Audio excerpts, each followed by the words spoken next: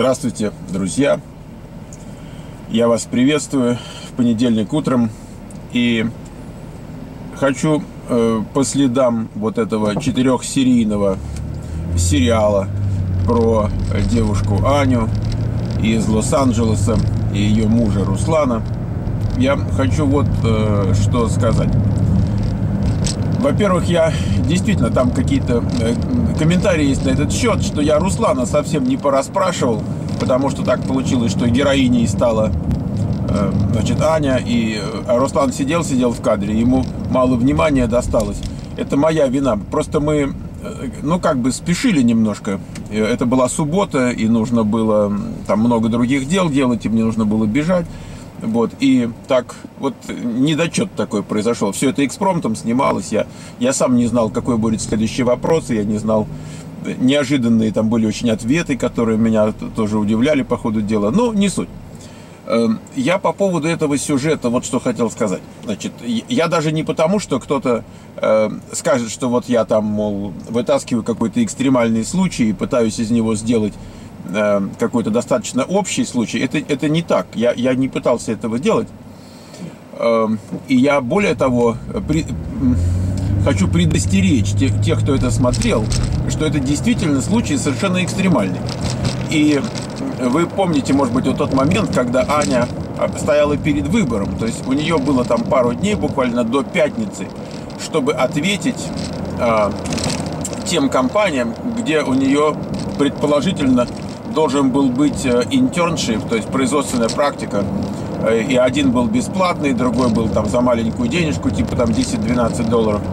И, и вот вышло так просто, что в последнюю секунду вот на нее э, упала эта работа с э, намного большими деньгами. Ну, то есть серьезная, ответственная позиция и так далее. То есть могло быть и так, и эдак, и как угодно могло быть. А еще она могла сказать, что я не чувствую себя готовой, Э, перебросьте меня пока значит, в следующую группу, которая начнется там, не знаю, 20 августа у нас начинается. И я там еще посижу три месяца. То есть все это могло произойти.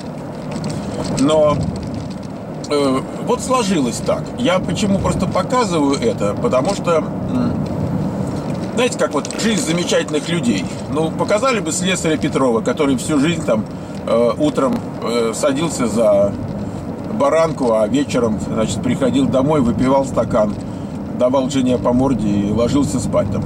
Ну, то есть можно, конечно, но там ничего не происходило. Он каждое утро вставал, каждое утро шел. И, и не то, чтобы это какой-то пример для подражания. Или что-то, что может заставить задуматься. В данном случае я это рассматриваю не как пример для подражания, а как просто, чтобы задуматься. Потому что так много возможностей есть, и я вижу людей, которые приезжают в Соединенные Штаты. Собственно, я сам тоже прошел этим путем когда-то. То есть ты едешь, ты думаешь, как я буду жить в новой стране. И ты думаешь, ну вот я, например, русский язык хорошо знаю. Может быть, мне русский язык преподавать? Или ты думаешь, я вот там, э, не знаю что там, на железной дороге, там, контролировал качество рельсов, там, ходил молотком, стучал. И хорошо слышу, если что не так. Вот, может быть, я приеду в США, найду железную дорогу, и там буду молотком стучать. Ну и так далее. То есть люди приезжают с какой-то мыслью о том, как они будут жить дальше. Чего они не понимают, и э, что я хотел показать, в частности, вот этим сюжетом, что когда ты приезжаешь в такую страну, как Соединенные Штаты, перед тобой такое невероятное количество возможностей, что если тебе начать сегодня об этом рассказывать, ты просто не поймешь даже о чем речь. Это целый мир, это вселенная целая. Поэтому не пытайтесь эм, себя в какие-то рамки зажать. Ну, то есть это все равно естественным образом происходит. Я, я понимаю, что это не то, что специально кто-то, но просто будьте э, открыты. И не значит, что надо тестером быть. Господи, сколько тут всего на свете. Не, не значит, что надо быть в IT. Эм, есть такой знаете, в Америке говорят, что вот как это получилось? А вот, говорит, там right time, right people, right place. То есть вот нужный человек, правильный человек оказался в правильном месте в правильное время. Вот, допустим, откуда взялась там школа тестеров. Правильный человек Миша Портнов оказался в правильном месте, в Кремниевой долине, в правильное время, там, скажем, начало 90-х. Если бы э, тот же Миша Портнов оказался в это время в Бостоне или там в Сиэтле, не было бы Портнов Компьютер School, потому что в то время э, не было э, нигде больше возможности вот так так, такое учреждение создать, чтобы такой был спрос на тестеров, чтобы можно было целую школу там и так далее. И э, когда, а как получилось? Ну вот просто, говорит, вот right time, right place, right uh, guy. И вот так получилось. Uh, сегодня в Соединенных Штатах вопрос, когда люди задают, скажите, а вот сейчас там правильное время, а вот сейчас правильное место, а вот послушай, вот где ты есть сейчас в Соединенных Штатах, и на самом деле в, в большей части мира, не только в Соединенных Штатах, но особенно в Соединенных Штатах, вот там, где ты есть, если ты посмотришь вокруг, стоят люди с кайлом здоровенным и рубят породу золотоносную, понимаете, со слитками, там, со всеми делами. Но, но просто есть люди, которые смотрят на них, через них смотрят и говорят, а где opportunity, а где возможности, а что вот, ну что, ничего же нету, говорят они. Эм, глаза открой. Вот там, где ты есть сегодня, вот там, где ты сегодня есть, и там, где ты спрашиваешь, а правильное ли время, а правильное место, а правильное я. Вот я это вопрос, правильный ли я это вопрос. Но вокруг тебя куча народу со здоровенным кайлом рубят эту породу. И ты делаешь не только в деньгах, я, не, я так условно, там, золото, там, золотоносная жила, там, или там, не знаю, кимберлитовая трубка. Не, не в этом же дело. Дело в том, что люди заняты делом. И у них не возникает вопрос, я чего, а вот, а я правильный, а место правильное, а то правильно. И, э, и вокруг нас полно народу, которые вот они ходят и рассуждают, что то плохо, и это плохо, и здесь плохо, и там плохо, и обратно он не едет. Но и здесь ему чего-то вот не, не дали, чего-то ему не досталось.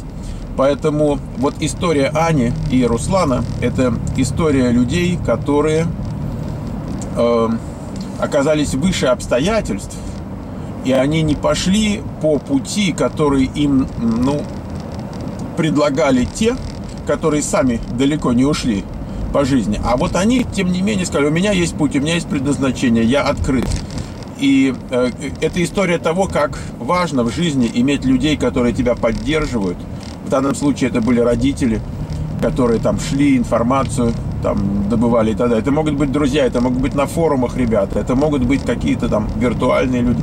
Но очень важно вокруг себя иметь людей, которые говорят, иди вперед, а не людей, которые говорят, да ты что, да ты посмотри на себя, ты в зеркало давно не глядел.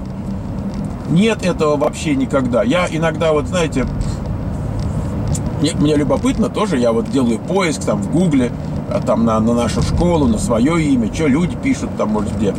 И вот я смотрю, значит, там в наше время кто-то говорит, а вот, говорит, говорят, что профессия тестеров, там, э, тестировщика, это как вообще? И там говорит, да вы что, с ума сошли? Это вот в начале там э, двухтысячных, э, может быть, еще имело смысл, а сейчас это не актуально. В начале двухтысячных кризис был жуткий. В начале двухтысячных уж точно не надо было туда лезть, потому что там не было места. А сейчас наоборот. Но есть полно народу, которые ни ухом, ни рылом. И они самые активные. Если ты будешь, вот, пойдешь в такое место, вот они самые активные, эти все мозги снесут своим дрянью. Значит, надо иметь мозг и надо иметь его защищать. Уметь защищать собственный мозг от дряни. Если ты не можешь, ты пропал. И никто тебе не виноват. И никто тебе не поможет до тех пор, пока ты не станешь сам защищать собственный мозг. Пока нет ученика, нет учителя, не будет никогда учителя. Зачем тебе учитель, если ты не ученик? Если ты ходишь и дрянь всякую подбираешь. И это то, чем ты занят. И как только ты дрянь найдешь, а ты обязательно дрянь найдешь. Мы живем сегодня в мире, где нет проблемы найти абсолютно любую информацию, положительную или отрицательную, абсолютно обо всем. Вот Обама, хороший или плохой? Одни говорят хороший, другие говорят плохой. А вот, говорит, там мир с палестинцами у Израиля. Это, говорит, хорошо или плохо? Одни говорят хорошо, другие плохо. А вот, говорит, иммиграционная реформа. Это хорошо или плохо? Одни говорят хорошо, другие плохо. Что хочешь, все найдешь. Абсолютно все можно найти. Нет такой проблемы найти дерьмо. Дерьмо со всех сторон. Проблема состоит в том, чтобы научиться в громадном стоге сена найти вот эту иголочку ценной информации. И вот это сегодня и есть тот самый навык, который человека вытаскивает на поверхность и который делает его успешным. Так что, еще раз, я предостерегаю тех, кто думает, что вот я сейчас пойду и вот то же самое сделаю, а может я еще и лучше сделаю, как Аня и так далее. Вот сейчас пойду там заочно в онлайне поучусь там 30 часов, там весь курс 30 часов, 30 занятий. Ну, может быть они еще там 100 сами занимаются, а может и не занимаются. Поэтому э, осторожненько, то есть не, не воспринимайте это в буквальном смысле. Для меня это гораздо более важно было показать в плане символическом, в плане таком настроя движения в направлении правильном, не, не позволить себе пойти на поводу у кого-то, э, кто тебя тащит э, в никуда. Вот так, так, такие слова хотел вам сказать. И хотел вам пожелать, чтобы чем бы вы ни занимались, э, но чтобы у вас получалось. Даже если вы не в ту сторону идете, пусть получится, и вы тогда скажете сами себе, что сторона была не та, и там дальше уже сориентируетесь. Так что за то, чтобы все получалось. Счастливо.